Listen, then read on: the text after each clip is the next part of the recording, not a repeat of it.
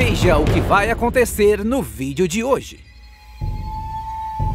Esses lobos famintos atacam esse iaque.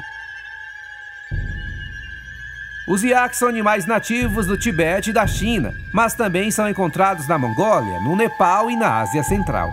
Os iaques selvagens vivem em rebanhos de várias centenas de animais, compostos principalmente por fêmeas e seus filhotes, com apenas alguns machos. Eles evitam geralmente os humanos e podem fugir, embora possam se tornar agressivos quando defendem seus filhotes ou quando estão no cio. Os iaques são herbívoros, o que significa que só comem plantas. Mesmo sendo um ungulado robusto, o iaque possui um predador específico, o lobo do Himalaia.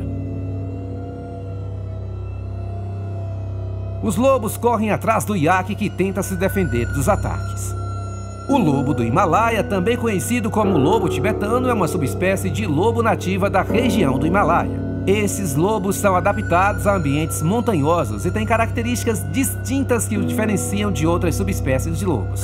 Esses animais caçam em grupos, facilitando na hora da captura. O lobo vai para cima do iaque e leva um grande coice. É impressionante.